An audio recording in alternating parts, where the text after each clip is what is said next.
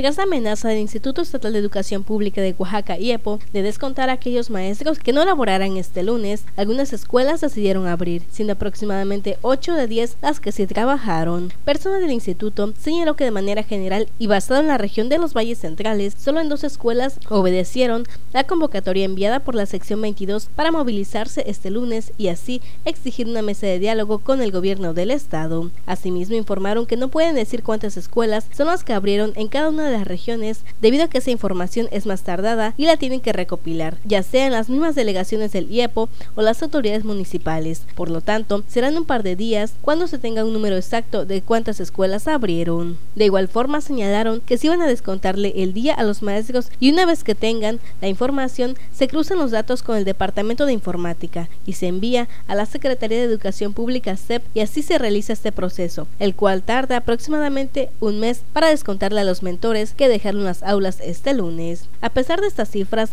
que dio el personal del instituto, solo una escuela de nivel básico abrió en el casco urbano de Tuxtepec y las demás se sumaron a las acciones convocadas por la dirigencia. Con imágenes de David Barahona, informó Dora Timoteo.